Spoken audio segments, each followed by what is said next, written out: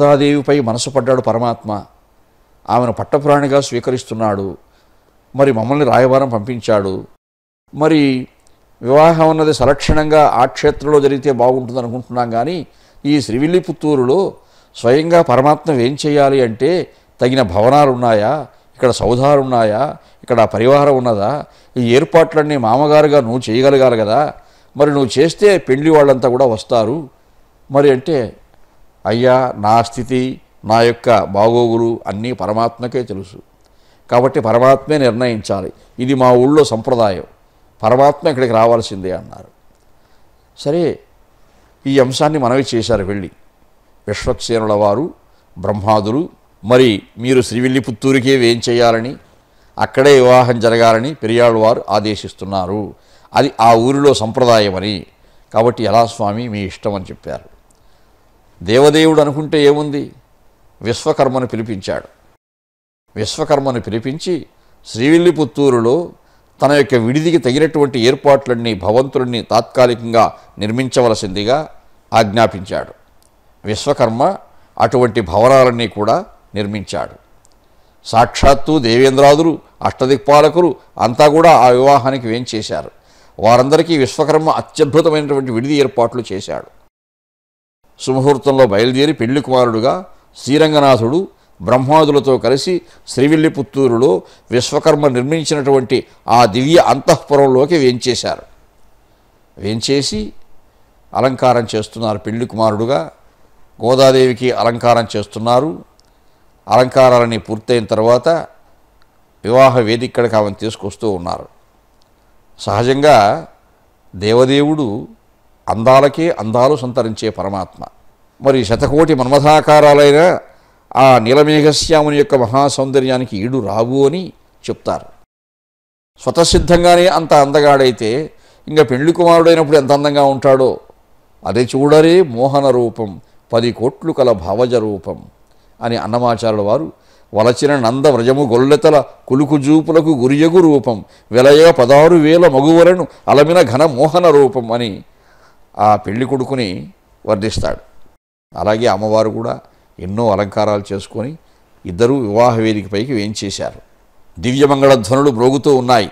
బ్రహ్మాదులంతా కూడా సభక్తికంగా ఆ దేవదేవుని యొక్క గోదా శ్రీరంగనాథుల యొక్క వివాహ కైంకర్యాలన్నీ దగ్గరుండి చూచుకుంటూ ఉన్నారు. వధూవరులకు మధ్యలో ఒక తెర కడుతారు. ఆ తెర కొంతసేపు అయిన తర్వాత మళ్ళీ పక్క పక్కన ఆసీనులు అవుతారు కలధౌతద్రవ చిత్రముల్ మెరయ ముక్తాస్యుతమౌ మేచకాంచలపున్ పెందెర వారి లగ్నము సమాసన్నంబుగా వేల్పు పెద్దలు వంపన్ గుడ జీరకంబులు సముద్యత్ ప్రేమము అన్యోన్యము తృష్టుల ఆ దివ్య దంపతులు అన్యోన్య మంజుల హస్తంబుల నించిరి అర్థి కనుమించు చిర్రు ముర్రాడగన్ గోదాదేవి సిగ్గుతో ఎలాగైనా శ్రీరంగనాథుని మాటి మాటికి చూడాలని ఉవిళ్ళూరుతున్నారు అమ్మవారు అలాగే శ్రీరంగనాథుడు కూడా ఆ భూదేవి యొక్క సౌందర్యాన్ని ఆస్వాదించాలని ఆయన కూడా సిగ్గుతో చూస్తూ ఉన్నాడు. కనుమించుల్ చిర్రుముర్రాడగా. ఈ పెళ్ళి కుమారుడు పెళ్ళి కుమారుడు అవస్థలు ఎలా ఉంటే మధ్యలో తెర పట్టారు బ్రహ్మాదులు వేల్పు పెద్దలు. మరి మంత్రాలు చదువుతూ ఉన్నారు గుడజీరకంబులు బెల్లము జీలకర్ర. పరస్పరము వధూవరులు ఒకరి యొక్క మస్తకంపై మరొకరు ఉంచే ఏర్పాటు చేస్తూ ఉన్నారు. సముద్యత్రేమము అన్యోన్య హస్తంబుల మంజుల హస్తంబుల సుకుమారమైనటువంటి హస్తారవిందముల చేత శ్రీరంగనాథుడు అమ్మవారి మస్తకంపై బెల్లము జీలకర్ర పెడుతున్నాడు. గోదాదేవి కూడా అలాగే బెల్లము జీలకర్ర పెడుతూ ఉన్నారు. అంటే ఒకరి హస్తస్పర్శ మరొకరికి ఎంతో మధురానుభూతి కలిగిస్తూ ఉన్నది ఆ గోదా శ్రీరంగనాథులకు. ఈ కైంకర్యం పూర్తయిన తర్వాత మంగళసూత్రం ధరింపజేశారు. గళమున గట్టిన హరి మంగళసూత్రము పులకలతివగాత్రము పుదువన్. నెలతయు పతియును కరముల అలవరచిరి కంకణంబులన్యోన్యంబున్ కంకణాలు మార్చుకున్నారు. స్వామి మంగళసూత్రం ధరింపజేశాడు. శ్రీరంగనాథుడు అమ్మవారి మెడలో. మరి కంకణాలు మార్చుకోవడం పూలదండలు మార్చుకోవడం ఈ కైంకర్యాలన్నీ కూడా మహత్తరంగా జరుగుతున్నాయి. చివరగా లాజహోమము అగ్నిహోత్రం చేస్తారు. అగ్ని ప్రతిష్ఠ అంటే వారి యొక్క ప్రణయము అగ్నికాంతి వలె స్వచ్ఛమై మధురమైనటువంటిది మహత్తరమైనటువంటిది కాంతిమంతమైనటువంటిది అనే సత్యాన్ని విశదీకరించు లరణచే నిష్ఠతో లాజలు వేల్పించి శార్ని మెట్టించను సప్తపదులు. లాజహోమం పూర్తయిన తర్వాత ఏడడుగులు నడిచారు ఇద్దరు కూడా చుట్టూ. ప్రదక్షిణం చేస్తూ ఏడడుగులు నడవడం. తరువాత తెరవగూడి అరుంధతి దర్శనము చేసే గోదాదేవితో కలిసి అరుంధతి నక్షత్రాన్ని చూచారు. ఈ వివాహ సంప్రదాయాలన్నీ మనం పాటించలేక భగవంతుడు కూడా పాటించాడు. తెరవగూడి అరుంధతి దర్శనము చేసే. అరుంధతి దర్శనం అయిన తర్వాత మళ్ళీ వేదిక పైన కూర్చున్నారు. బ్రహ్మరుద్రాది గీర్వాణకోటి అర్పించి ఉడుగరలు అనుకంపగైకొని ఆ స్వామికి చదివింపులు. బ్రహ్మ రుద్రుడు దిక్పాలకులు దేవేంద్రుడు అంతా కూడా కానుకలిస్తున్నారు ఆ వివాహ సమయంలో? అవన్నీ కూడా స్వీకరించి పరిచ ప్రసాద భాజనుల చేసి వాళ్ళందరికీ తన కరుణా కటాక్ష భాజనమైనటువంటి ప్రసాదమైనటువంటి చూపులతో ఆనందాన్ని కలిగించారు. అందరూ పెళ్ళి విందులు ఆరగించారు. ఆత్మపట్టణమునకు అతివదొట్టుకుని విజయంబు చేసిన మహాహర్షమొప్ప.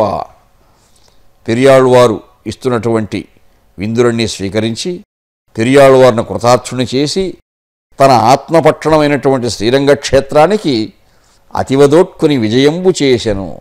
గోదాదేవితో కూడా వేంచేశారు తిరిగి.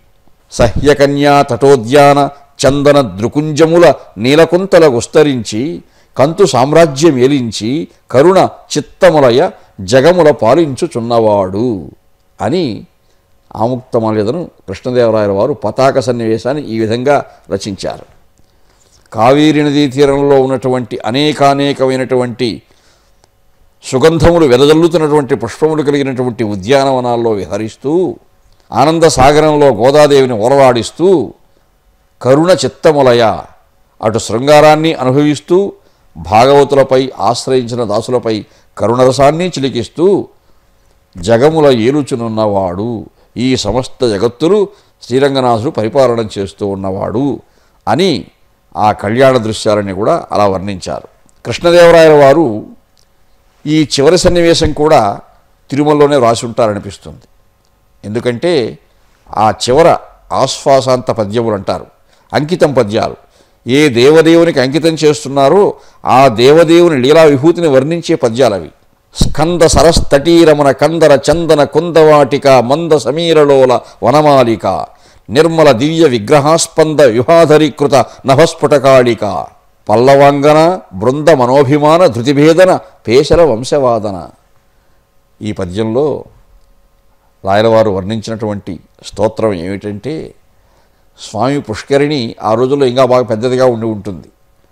ఆ పుష్కరిణి జలం నుంచి గాలి వీచి ఆ గాలి తుంపురులు మెల్ల మెల్లగా చల్ల చల్లగా వేంచేసి వేంచేసి పరమాత్మ యొక్క వనమాలది అలంకారాలు తాకుతున్నాయట గర్భాలయంలో.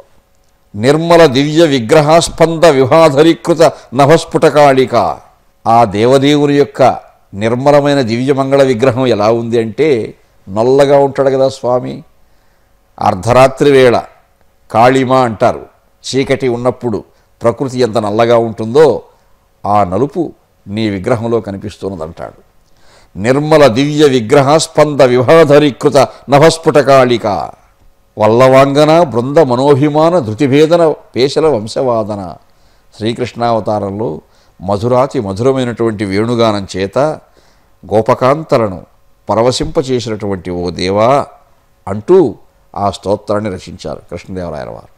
ఆశ్వాసాంత గద్యపద్యాలన్నీ కూడా మనం ఒకసారి పరిశీలించామంటే శ్రీ వెంకటేశ్వర స్వామి యొక్క వైభవాన్ని తత్వాన్ని మహత్వాన్ని అత్యద్భుతంగా వర్ణించినటువంటి ఆ స్తోత్రము ఏ భగవద్ రామానుజుల వారు పెరియాళ్ళ వారు చెప్పినట్టే ఉంటుంది. కృష్ణదేవరాయల వారు కూడా అంత భాగవతోత్తముడు కాబట్టి. అలా చెప్తూ సహజంగా కవులు ఒక ఆశ్వాసం రాసినప్పుడు చివర చెప్పుకుంటారు. అల్లసాని పెద్దన గారు ఇది చతుర్విధ కవితామ తల్లి కాళ్ళసాని చొక్కయామాచ్య పుత్ర పెద్దరామాచ్య ప్రణీతంబైన స్వారోటిష అనుసంభవంబునందు ప్రథమాశ్వాసము ఇలా చెప్పుకుంటారు. కృష్ణదేవరాయల వారు అలా చెప్పడం కూడా పద్యంతోనే చెప్పాడు ఆయన. ఇది కర్ణాటధరాధృతి స్థిర భుజా హేవాక లబ్ధేభరాడదయోర్వీధర తత్పితృవ్యహృత రవ్యోపాయనోష్ణీష రత్న దృగంచత్పద కృష్ణరాయ మహిభృన్ నామాస్పదాముక్తమాల్యదా. ఇది భూమండన కొండవీడు ధరణి భృద్దుర్గ పూర్వద్రిభాస్వది భేజాత్మజ వీరభద్ర జనజీవగ్రాహ రాహూయమాణ దృఢంచద్భుజ కృష్ణరాయ మహిభృన్నామాస్పదాముక్తమాల్యద. అలా చెప్పుకున్నారు. అంటే తాను కొండవీడు జయించిన కొండపల్లి జయించిన ఉదయగిరి జయించిన సింహాచలం జయించిన ఇన్ని జైత్రయాత్రలు కూడా ఆ దేవదేవుని కరుణా కటాక్షంతో నిర్వహించానని తనకున్నటువంటి బలము పరాక్రమము ఐశ్వర్యము ఇవన్నీ కూడా ఆ దేవదేవుడు అనుగ్రహించినవేనని ప్రగాఢంగా విశ్వసించినటువంటి పరమ భాగవతోత్తముడు కాబట్టి కృష్ణదేవరాయల వారు అలా చెప్పుకుని ఉండవచ్చు.